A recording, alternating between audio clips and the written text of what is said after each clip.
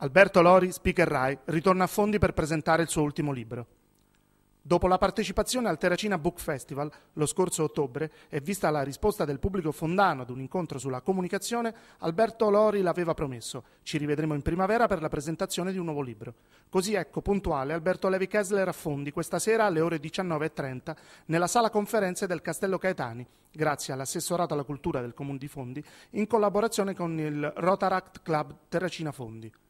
Il nuovo giallo mozzafiato, Il buio negli occhi, mostra tutta la capacità narrativa del Lori scrittore sin dagli anni 70, un passato anche da fumettista sempre noir. L'intreccio si muove nelle campagne umbre, dove spesso l'autore si ritira per riflettere. Il satanismo, la preveggenza, l'aspirazione di un fotoreporter si mescolano per dare vita ad una storia che non si conclude con la parola fine, bensì stimola riflessioni che sfiorano la medicina e la parapsicologia.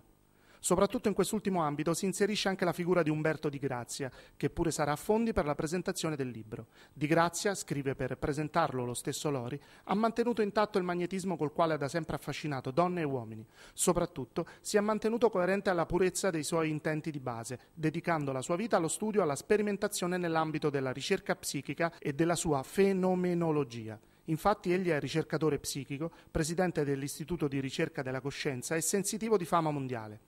Alberto Lori torna a Fondi anche per condividere il suo immenso sapere e la sua interminabile carriera di speaker Rai, che lo ha portato ad essere una delle voci più apprezzate nel panorama italiano del doppiaggio, nella lettura così come nella scrittura.